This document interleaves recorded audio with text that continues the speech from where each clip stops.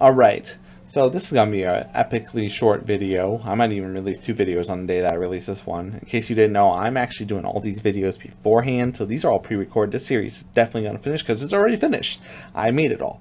I'm just releasing the videos over time, just because that's what seemed to make sense at the time.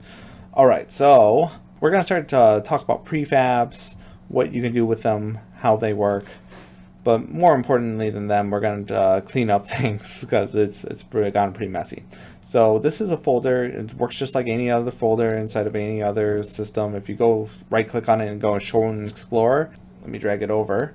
And you can see inside of here, I'm in my YouTube tutorial assets and YouTube tutorial is named according to what we named this project. Assets is what's inside this folder right here. It's exactly the same. It controls the same. A lot of it's the same.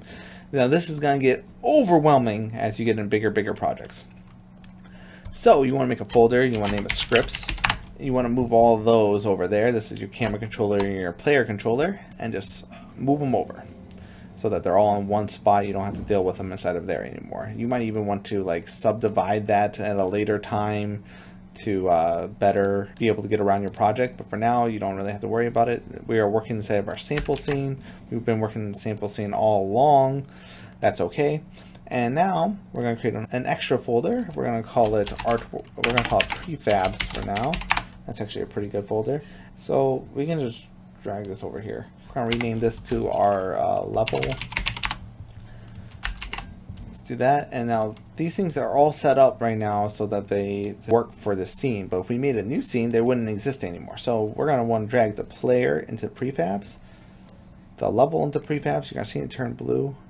I don't know what they're talking about there. Are they talking about Sunnyland? Hold on. There we go. So we drag the level into there. Right now, this is all on there. And now what a prefab does is it makes a copy of this. It's like the base copy of this. So like say I go over here and I do something, I'm like, okay, I made, I don't know what I did, but now my guy plummets like a meteor and goes right through the earth, he goes so fast. Alright, for one thing, I need to make it so there's continuous uh, collision. Okay, but still, so fast and I can't even move. Like no matter how how hard I try, I can't move. The gravity's too hard, man. I am not Vegeta. I can't pull this off. All right. So what do I do? Well, luckily we made a prefab, and if we hit revert, oh, it works inside the the prefab world. Luckily, so boom, I plummet at a normal speed, and I fall and I die, but that's okay because it works now, right? Let's make this back to 15. I think is what I had it at. And now I made a change in here and my prefab is actually completely different, right?